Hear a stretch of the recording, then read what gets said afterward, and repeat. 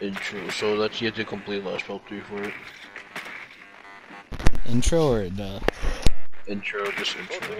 Okay, let's go. I'm just gonna grind the hell out of... what is that guy doing? 突入まで5秒 What happened?